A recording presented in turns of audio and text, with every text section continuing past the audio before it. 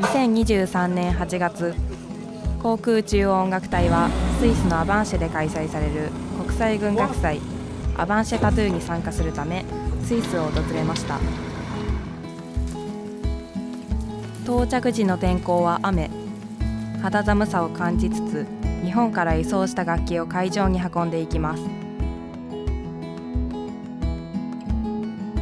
アバンシェタトゥーが開催される会場は120年以上の歴史がある国立の馬術場です。普段は馬の調教などを行っている馬術場がタトゥーの期間だけコンサート会場となります。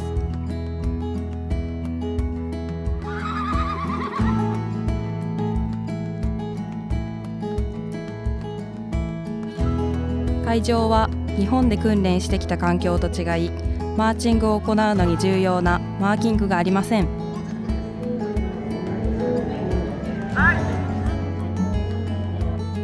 またフィールドは土のため足元は雨でぐちゃぐちゃになってしまい隊員たちを悩ませます。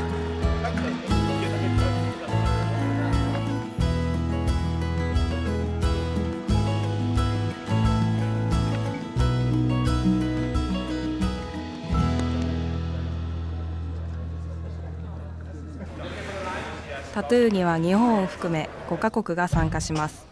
合同演奏も行われるため入念なリハーサルを行い動きと演奏を合わせていきます。オ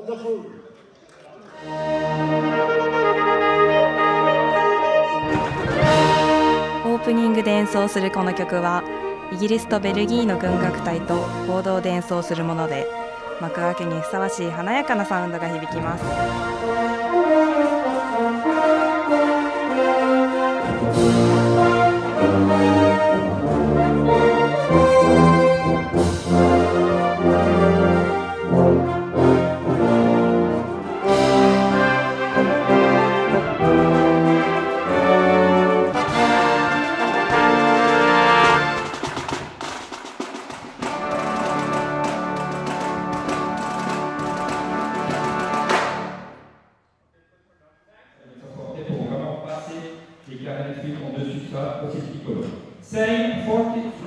明日からの天気は晴れの予報。会場も急ピッチで整備が進みます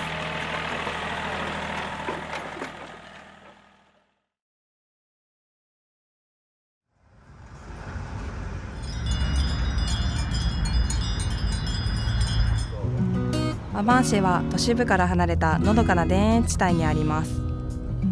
会場へ向かうバスの車窓には美しいスイスの自然が広がります。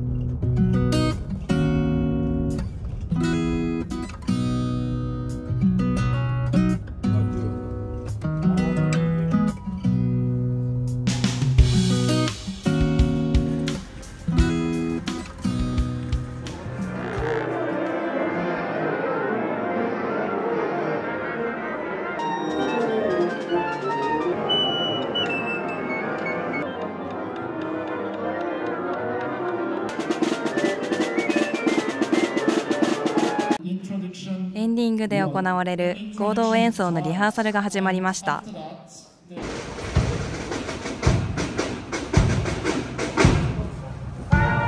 エンディングの合同演奏はすべての参加団体で行うため入退場一つにしてもなかなかすんなりとはいきません。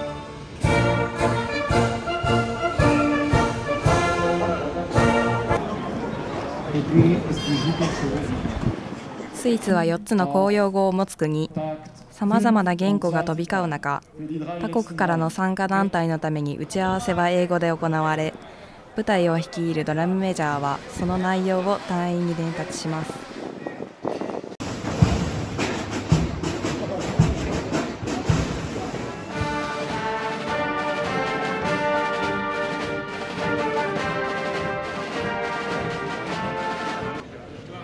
動きだけではなく当然演奏もしっかりと合わせていきます。大人数での演奏はとても迫力があります。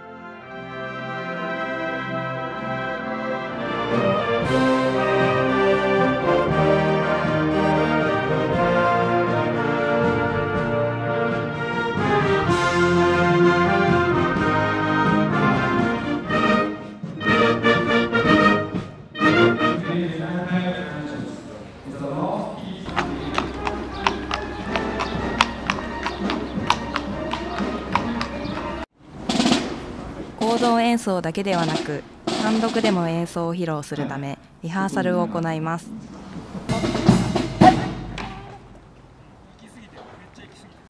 こうしてリハーサルが行えるのは一度しかないので一つ一つの動きを丁寧に確認していきます。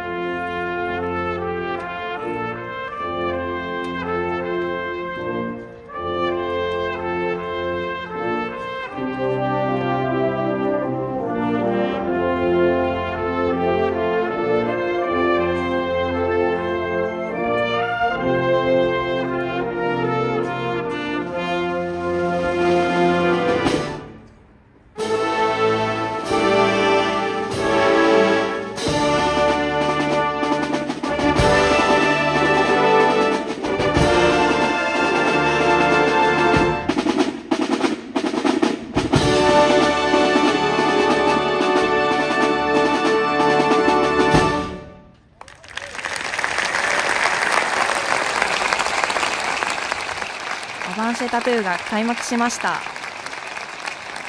ここから各参加団体を見ていきたいと思います。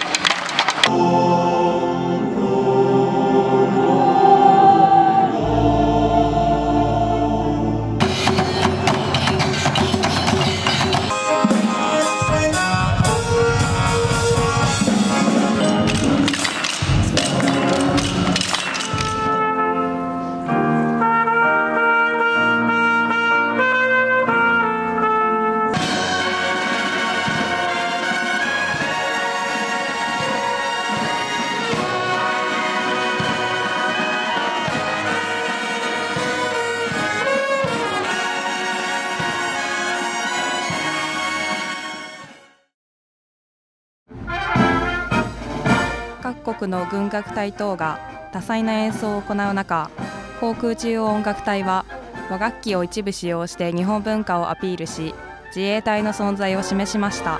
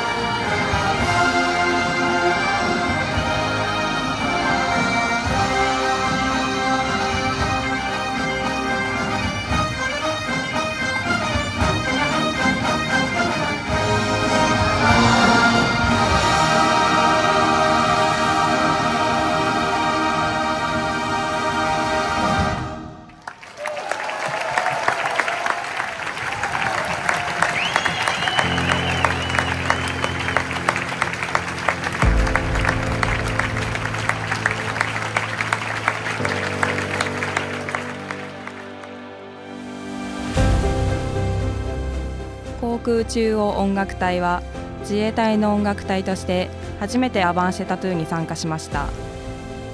期間中タトゥーでの演奏のほかシチューパレードや屋外演奏などを通じて多くの方々と交流を図ることができました。航空自衛隊は今後も同志国との各種協力交流を積極的に推進し平和で安定した国際環境の創出に努めてまいります。